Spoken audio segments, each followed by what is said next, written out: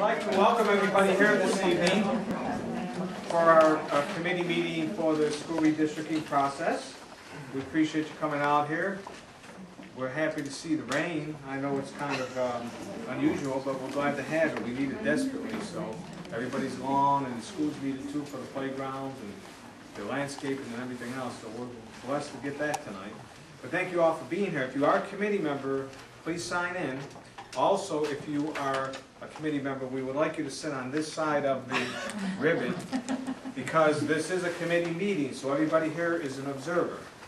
That's on this side is an observer, it's, it's a participation meeting for the committee only. So we're asking that if you're not sitting on that side, that you just be a casual observer, and I'm sitting on this side as well. Because it's supposed to be a committee meeting, and we're here just to observe. So we appreciate those of you that are on this side to uh, work with us on that. This is going to be a- an update on the process and a progress report on the data ga- gathering that's going on for this, for this redistricting process. And at this point in time, I know they'll talk further about the next, the next meeting and, and where the schedule is headed in terms of timeline and so forth. So, at this point, I'll introduce Mr. Sam Sweat, the chairman of the committee, and then he will introduce uh, Mr. Carey, who I think most of you have met already anyway.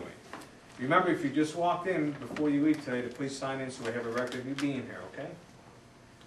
Thank you, Dr. Dakotas. I would like to give you a few updates. First of all, our next meeting will be two weeks from tonight.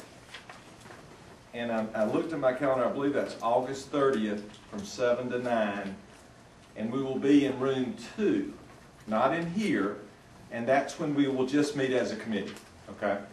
Uh, Mr. Campbell and myself and Ms. Watson, we will be here to run that meeting, and, and that will be a nuts and bolts type meeting where we get down and, and we do um, some of the work that we need to get done. Because our target date to have everything completed by, remember, our target date is the November board meeting. So tonight's meeting kicks off meetings that we're gonna have probably every two to three weeks. We're gonna, we're gonna hit the ground running now after tonight. And we've been anxiously awaiting uh, this, this time. I'm very excited, I'm very enthused, and I think the process is going to be a good process. Let me tell you a little bit about how we got to this point. If you all will remember, last fall, we did the middle school, high school redistricting process. Mr. Campbell and Mr. Sweat took on that job.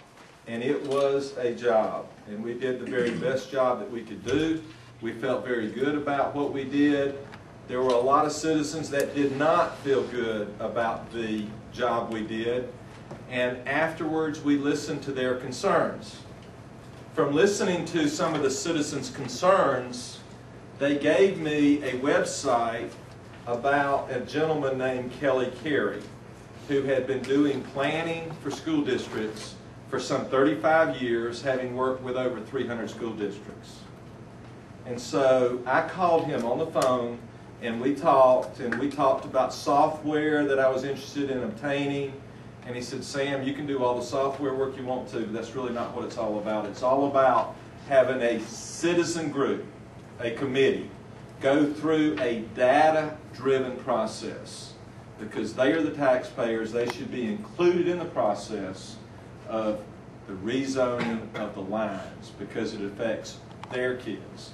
So we embarked on a totally new and different process with the support of the superintendent and the board.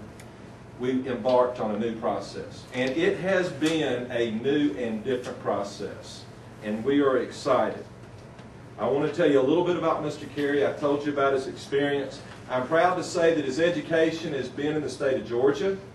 He graduated with his Bachelor of Arts degree from Augusta College, and that's where I obtained my master's degree. It's a very small but very good college. He got two degrees from Georgia Tech. He got his, his uh, civil engineering degree as well as his city planning degree. And then he went to Emory to get his law degree. And uh, he's also done some work with Harvard uh, up on the, on the East Coast. So he's, he's well educated, but he's a Georgia boy. And, and we're, we're proud of that because he's been all over the country working with school districts, and we're happy to obtain his services. And with that being said, I'm gonna turn it over to Mr. Carey. Thank you all.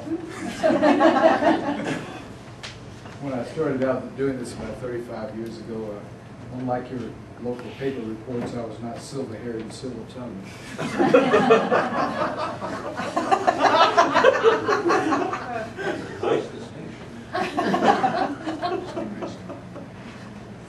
Beats the alternatives, doesn't it? Thank you. Good evening to all of you. Um, I'm, proud to say that we're, we're marching ahead with due speed. Um, What folks don't often understand is that the actual plan that comes out of this kind of process is really the tip of the iceberg. Ninety percent of it is hard work in the background. Uh, We're getting geared up to involve you with the data that you need, and I'll explain how we're going to do that. For, for you who don't recall, I always hark back to our triangle, programs, demographics, and facilities. You may recall, we were talking about the strong relationship among these things, that uh, you do something to one, it affects the others. So when you talk about redistricting, if you're just talking about redistricting, you're ignoring the other two parts of the triangle. Because anything you do as far as reassignment affects facilities utilization, facility needs, and consequent ability, consequent ability to house programs.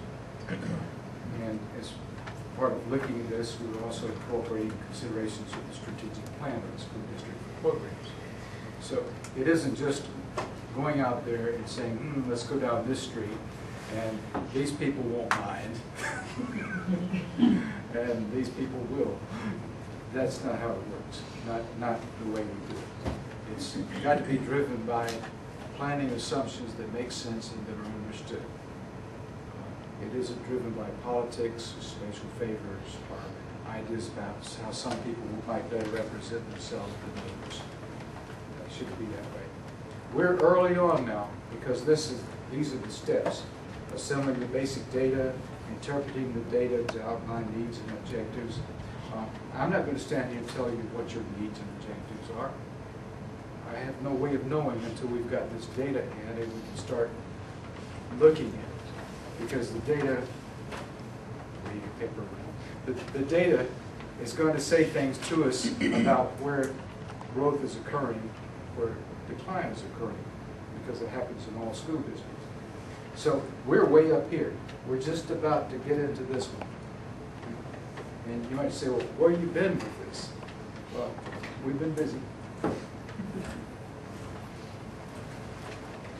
What we've done is, uh, uh, this is a district-wide map, but uh, we're showing the uh, elementary zones in this one and what we call NPUs, Neighborhood Planning Units.